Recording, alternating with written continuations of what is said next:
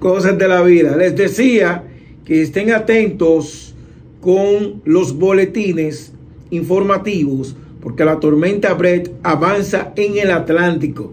Ustedes saben que estamos en temporada ciclónica, tormenta Brett.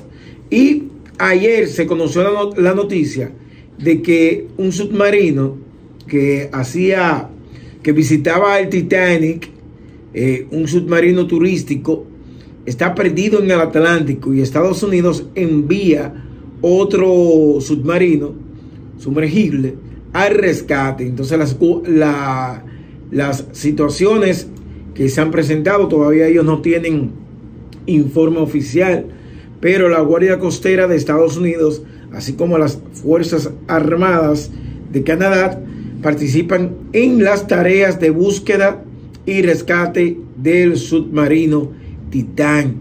Ellos fueron a visitar al Titanic. Ellos transportaban cinco personas que habían pagado 250 mil dólares cada uno, cada uno de ellos, para ver los restos del Titanic.